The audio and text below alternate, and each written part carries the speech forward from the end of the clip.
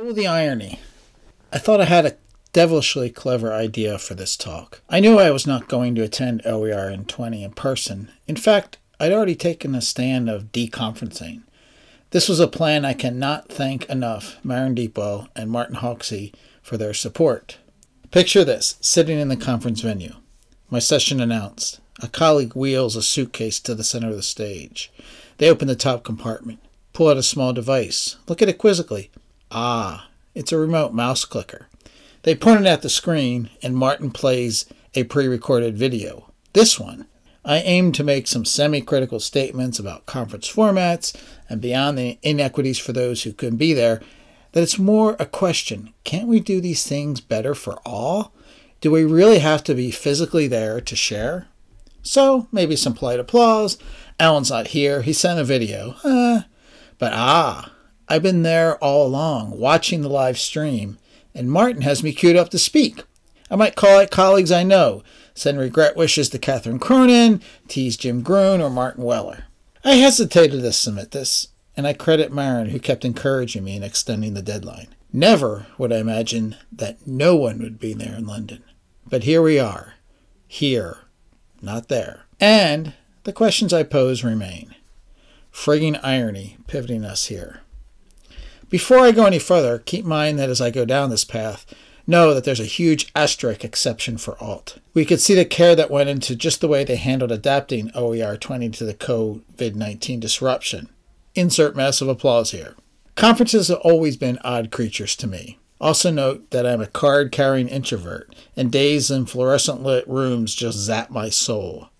All that effort to travel to a venue and sit passively in rooms being presented to. Yes, this is a gross generalization. A lot of conferences are different. But the bulk of them, since my first one in the early 1990s, have not strayed much from the same modality. I've relished more phenomena that came from making collegial connections in open online spaces. Many I got to know there. Eventually, I got to meet later in person. It's been there since the beginning of my EdTech journey in the 1990s. This phenomena of getting to quote unquote know colleagues at a distance via whatever communication platforms available. And sometimes, when I get to meet them later in person, it's just as if we continued the conversation, collaboration we did first online. While working at the Maricopa Community Colleges in the early 1990s, through the cutting edge technology of an email listserv, I got to know and start communicating with directly Tim Blood, a colleague at Lane Community College in Oregon. A few years into my career later, and tiring already of the presentation focused structure of academic conferences, I pitched my director on the idea of visiting colleagues at a few community colleges in the Northwest U.S. Through email, I set up a visit with Tim and two other places. But it wasn't until shaking hands with Tim in the Lane Community College parking lot that we both realized we'd never even talked to each other on the phone. Talk about moments. This happened again and again over the years, getting to know colleagues first via blogs, shared photos, virtual worlds, webinars, open courses, live video sessions, and then, when travel enabled it, getting to meet them in person.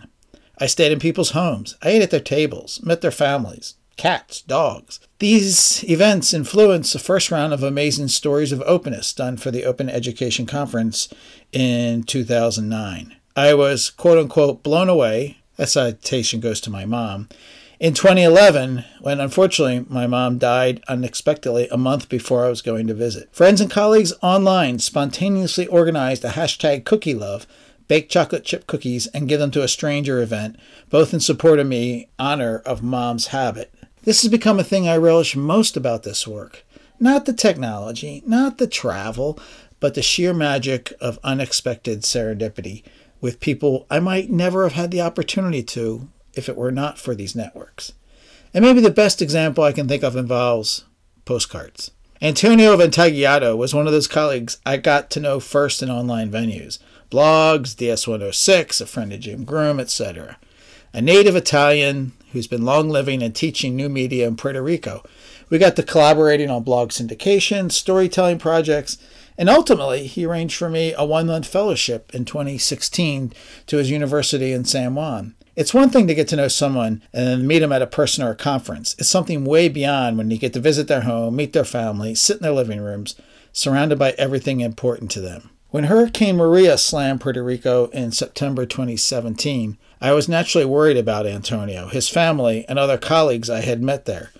We had just started planning an informal podcast collaboration, but that, of course, would wait. And it was a relief to get a first text message that said he was okay. Eventually, we were able to start emailing. We did our first episode of the Puerto Rico Connection by each of us recording bits of audio in a Google Drive, then waiting for a new one to appear so we could correspond. In one of his messages, Antonio said they were getting regular mail okay, like postal mail, while electricity and internet were still spotty. I got this idea to start a campaign of asking people to send Antonio and his students postcards as a show of support.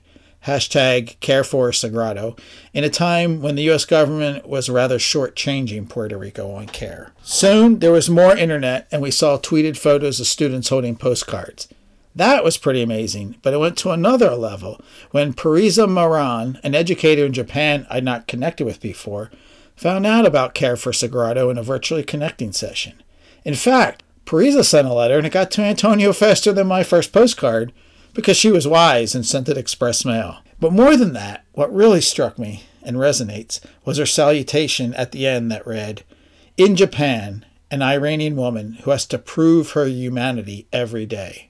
Wow. Would I ever have this experience in a conference hall? And Parisa took care to a whole new level by having her students in Japan create more art and presents for Antonio and his students, all sent through the regular mail. This led to a moment in December 2018 while I was visiting Kate Bowles in her home in Australia.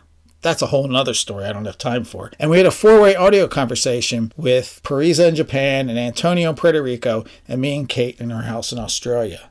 These stories of caring from afar are almost ordinary. I bet most in this audience have had their own experiences like that, where someone they had never met has done something extraordinary as an act of care.